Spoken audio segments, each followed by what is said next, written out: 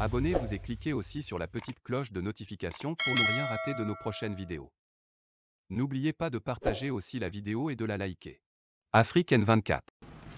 Où est-ce que nous avons été fautifs? J'ai entendu, pour conclure, deux ou trois sons sur les réseaux sociaux que des amis m'ont envoyés, des gens qui m'ont raconté des histoires, des, histoires inimaginables. Il y a un certain qui se dit, je ne sais pas, ancien militaire, qui est aux États-Unis, qui prend souvent des vidéos sur des vieux chars aux États-Unis, qui fait croire aux gens que lui va faire je ne sais pas quoi au Togo. Des gens qui étaient des anciens tueurs dans ce pays, même si demain il y a le changement là, ces gens-là, il faut les interroger. Ce monsieur-là, il faut les interroger. Il faut l'interroger. Est-ce que les gens connaissent réellement le passé de ce monsieur? Les gens connaissent le passé de ce monsieur? Et c'est lui, mais, mais renseignez-vous. C'est lui qui est sur les réseaux sociaux, qui est devenu le porte-parole d'un parti comme l'ANC, qui est dans les forums, les, plateformes de l'ANC, qui insulte les gens, qui invente des histoires inimaginables, à dormir debout, faisant croire qu'il a des informations. Mais, mais, mais, vous les Togolais là, réveillez-vous. C'est quoi votre problème? Vous avez perdu la lucidité ou quoi? Des anciens tueurs, c'est-à-dire tueurs à gage.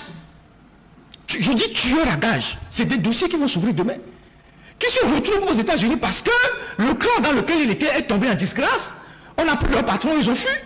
Et c'est lui aujourd'hui qui est devenu le stratège de certains opposants sur les réseaux sociaux. Mais incroyable. Mais c'est incroyable. Qui invente ce qui n'existe pas, juste pour salir les gens. C'est ce que j'ai à dire sur lui. Maintenant, je vais, je vais parler un peu de mon frère Yemi, parce qu'il a fait aussi une intervention. Lui, son cas, me, son, cas me tient à cœur. Pourquoi je le dis? Yemi, c'est un frère à moi, pour ceux qui ne le savent pas. Quand je dis frère, ce n'est pas un frère de sang, ce n'est pas un frère de famille. Mais nos chemins se sont croisés vers 2003. On a développé des relations fraternelles. On faisait des discussions ensemble, on était tout le temps ensemble. Et en 2004, il m'a dit que lui, euh, il va partir aux États-Unis. C'est un gars très intelligent, il était entrepreneur, il faisait beaucoup de choses. Il dit, bon, il va partir aux États-Unis avec sa famille. Bon, parce qu'il il- il avait l'opportunité d'aller euh, en Europe, il revenait tout le temps. Il dit, bon, il va partir aux États-Unis. Et je me rappelle qu'on était même dans la maison d'un de mes amis communs, de nos amis communs à Djidjolé. Et il me disait, mais Ferdinand, il faut partir, hein, il faut, il faut qu'on parte. J'ai dit non, moi je ne pars pas. Moi, je n'ai pas envie de partir, parce que si moi j'ai envie de partir, je serais parti depuis.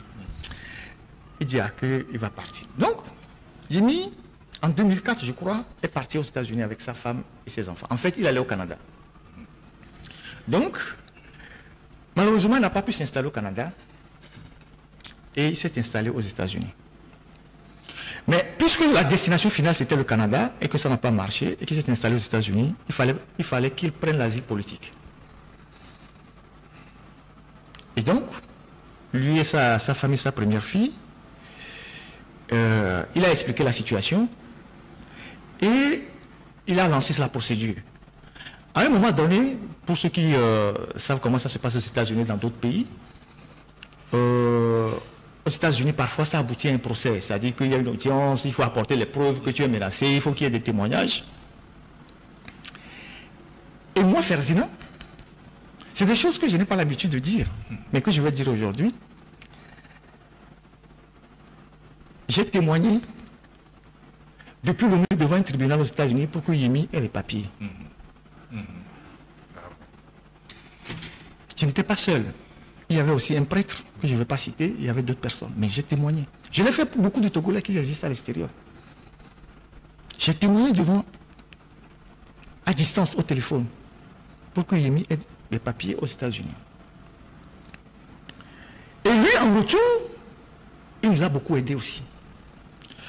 Je disais tantôt qu'en 2006, déjà, on avait lancé un journal de fin 2005 qui s'appelait Gazette. Quand on a lancé ce journal avec Idelfonse, Yemi nous a apporté une contribution financière pour nous soutenir. Quand, quand je suis revenu à l'alternative, il nous a soutenus financièrement. Un bon bout de temps, il a envoyé sa contribution pour le journal.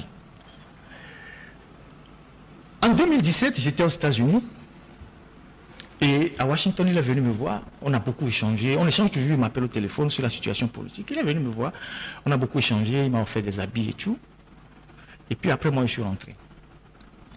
Qu'est-ce qui a fait qu'aujourd'hui, nous sommes distants?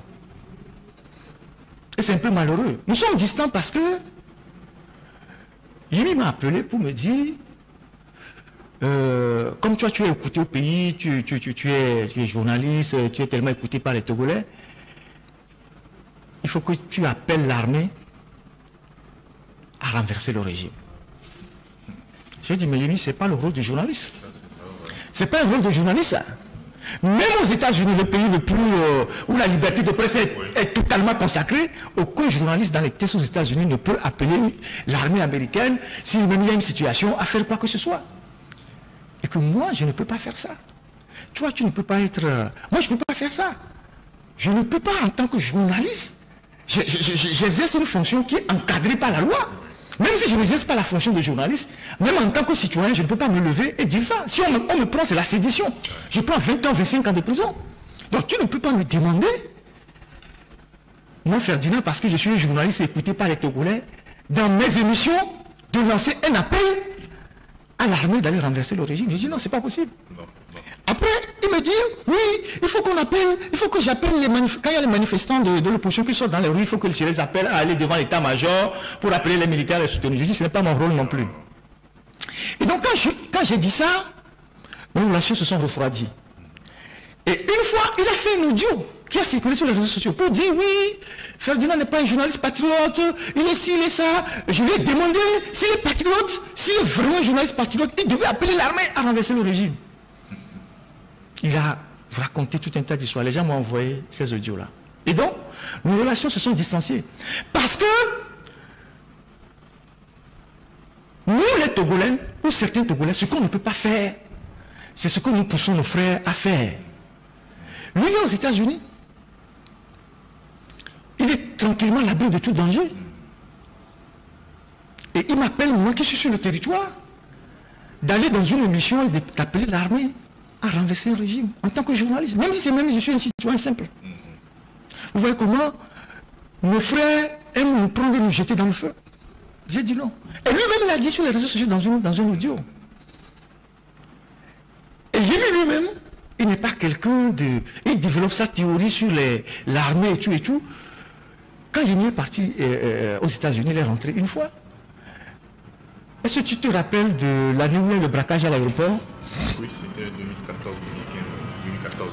2014, voilà. Le jour où il y a eu le braquage à l'aéroport, le matin, là, vers 10h, Yemi était à l'aéroport parce qu'il est rentré au Togo depuis qu'il est parti. Il était à l'aéroport pour euh, peser les bagages avant de partir le soir quand il y a eu les tirs à l'aéroport. C'est lui qui m'a appelé pour dire que ça tirait à l'aéroport. Il était totalement perdu, il était dans les toilettes. Et c'est celui qui a eu cette réaction-là, le jour où on a tiré à l'aéroport, qui me dit, moi, d'aller appeler l'armée. Et donc, parce que j'ai refusé ça, que à chaque fois qu'il y a un sujet concernant Ferdinand sur les réseaux sociaux, il fait une sortie pour m'insulter. C'est tout. C'est tout. Alors que lui, il a traversé des moments difficiles, même en couple. On était parmi les rares personnes qui l'ont soutenu parce qu'il a failli déprimer. Je ne sais pas s'il a déprimé, on l'a soutenu. Pour que, pour que le pire ne l'arrive pas, on l'a soutenu. Et en retour, comme je le dis, il n'a pas été euh, quelqu'un d'ingrat. Il nous a aussi accompagnés. Mais tu ne peux pas me demander à moi, Ferdinand, de faire ce qu'il me demande de faire là. c'est tout mon, c'est tout mon péché ça. Donc, on a fait ces choses-là on, a fait beaucoup de choses avec les gens. Je vais vous raconter une petite histoire pour, terminer. Habia Nicodème. Est-ce que vous m'avez vu une fois écrire un article sur Rabia Nicodème ou contre Rabia Nicodème Jamais. Nous, étions les jeunes à l'UFC à l'époque. On se rendait chez Jésus Christ, on était ensemble, on était dans les cours et tout, et tout, on faisait la mobilisation. Rabia Nicodème. Demandez-lui. 2011 par là, je crois, je n'ai plus l'année en tête, Habia Nicodème avait tous les problèmes aussi au Togo. On, le traquait, on voulait l'arrêter, il se cachait à Blogamé. Habia Nicodème nous a appelés au secours. Une nuit, il était caché quelque part en train de trembler. Parce que les gars l'ont traqué, ils n'ont pas pu l'arrêter. Qu'il faut qu'il sorte par tous les moyens du pays avant le lendemain. Nous avons fait une délégation pour aller voir euh, euh, euh, nos leaders, ceux qui sont aujourd'hui dans... Vous imaginez, les, les premiers responsables de l'UFC, la nuit, pour leur dire, voilà la situation à, à laquelle nous sommes confrontés. Il fallait nécessairement sortir Rabia du pays. Je ne peux pas vous donner la réponse qu'ils nous ont donnée. C'était tellement décevant. Une déception totale. On est sorti, nous sommes allés chercher la nuit dans l'argent. Il y avait moi, il y avait M. Claude Maboudou, il est aujourd'hui aux États-Unis, il était le président de l'UFC 5e arrondissement, donc il vivait à Bossimé. Il y avait Gilbert Achou qui après a basculé dans le régime. Jusqu'à 3 heures du matin, nous avons trouvé l'argent. On a loué une voiture la nuit. On a pris Rabia. Nous sommes arrivés à Néon. On a fait le détour. On a traversé le Mono. Sur le pirogue, masqué, on a amené Rabia jusqu'à Cotonou. Au cabinet de maître Yansou Magloire. C'était un avocat un peu euh, communiste à l'époque, je ne sais pas s'il vit encore, qui recevait, il y avait des gens dans son cabinet qui recevaient tous les réfugiés togolais qui venaient et puis après les aidaient auprès du HCR et tout ce qui voulait faire les papiers. C'est comme ça qu'on a exfiltré Rabia du pays. Nous étions trois qui l'avons exfiltré la nuit. Et un jour, un journaliste a tenté de mal parler de moi devant Rabia. Rabia a failli le, le tuer. Et là, tu connais Ferdinand. C'est des choses que nous ne disons pas. Qu'on laissera dans des livres pour que les gens puissent avoir le témoignage de ce qu'à un moment donné, nous avons fait comme sacrifice dans ce pays. Alors, ceux qui viennent de découvrir la politique, à travers WhatsApp et Facebook, et qui se cachent derrière des profils et tout ça, qui racontent leur vie, Ah oui, c'est ça. libre à vous. Ils n'ont même pas le courage de. Libre à vous. Libre à vous. Libre à vous. Nous, nous faisons notre travail citoyen. Sensibiliser les Togolais, essayer de leur dire, ça ne va pas, il faut faire ci, il faut faire ça. C'est tout. Donc euh, voilà ce que je voulais vraiment partager avec euh, ceux qui nous suivent sur cette chaîne par rapport à, à tout ce qui se passe là. Nous, principalement l'alternative, on n'a rien contre euh, euh, l'ANC, euh, Golf 4 et tout ça. Si on avait quelque chose contre eux, ce n'est pas un article comme ça banal qui serait sorti. Ce n'est pas, un art- ce n'est pas les, les gens de CDQ qui allaient venir nous voir pour dire aidez-nous parce qu'il y a un établissement qui s'effondre. Si on avait quelque chose contre eux, c'est sur leur mairie là qu'on va tomber. Ce n'est pas qu'on n'a pas les informations. Ce n'est pas qu'on n'a pas les informations sur ce qui se passe dans la mairie. Mais c'est qu'ils ne nous intéressent pas. Sinon, nous on est dans l'investigation, on allait tomber sur eux. Et Dieu seul sait ce qu'on va sortir. Donc, si les gens euh, ne veulent pas travailler dans leur mairie et veulent ouvrir des fronts avec des journalistes parce que ces journalistes ne les accompagnent plus et passent le temps à les dénigrer, libre à eux. Mais il arrivera des moments où des déballages comme ça, Pas franchir la, la ligne. on va rouge, franchir la ligne rouge. Et on verra si au bout de ça, ils vont tirer un gain de ça, de cette confrontation. Si moi je suis responsable d'un parti politique et que nous avons connu une dégringolade pendant les élections, on va pas s'en- on va pas commencer par s'en prendre à tout le monde. C'est d'abord de faire un diagnostic interne de ce qui nous est arrivé, tirer les leçons et voir comment on doit travailler pour remonter la pente. Plutôt que de trouver des boucs émissaires, de dire oui, il y a ci, il y a ça, c'est tel parti, c'est tel regroupement de partis, c'est tel journaliste. Voilà tout ce qu'on a fait pour les aider. Et qu'est-ce qu'on va faire pour les détruire? Rien du tout. Rien. Absolument rien. Donc voilà ce que moi je voulais dire. Et cette émission ou cette vidéo, nous le faisons pour apporter les clarifications nécessaires par rapport à cet incident. C'est une sorte de droit de réponse. On ne, on- on- on ne- on- on ne reparlera, on ne reparlera plus de cette affaire. Voilà. Nous, nous, on a d'autres choses à faire. On a d'autres choses plus importantes à faire. On n'est pas là pour euh, euh, rester dans les débats de caniveau, de bas niveau, euh, des gens qui n'ont aucune, aucune qualification, qui se donnent des diplômes et tout ça. On ne reste pas dans ce débat-là. Nous connaissons, nous-mêmes, nous connaissons nos qualités, nos forces et nos faiblesses. Et nous faisons avec. Nous ne sommes pas des gens parfaits. Alors, pas du tout. Non. Nous n'avons jamais dit que nous sommes les plus parfaits au Togo. Nous avons nos forces, nous avons nos faiblesses. Mais il y a des choses que nous, on ne fait pas. Et qu'on n'a jamais fait. C'est pour ça que, tu sais, la dernière fois, on quand on était chez l'ambassadeur, on était ensemble. Et, et l'ambassadeur qui est parti, je ne veux pas des États-Unis qui est parti quand nous sommes sortis de prison. Et quand il a voulu nous voir, on a échangé avec lui pendant des heures à son domicile. Et quand il, me raccompagnait, puisqu'il nous, a- il nous a raccompagnés, il était avec ses collaborateurs, il était avec Joël et tout ça, quand il me raccompagnait, il me raccompagnait, il m'a dit, nous sommes quand même fiers de vous parce que vous avez le courage de braver, de vous, prenez des risques.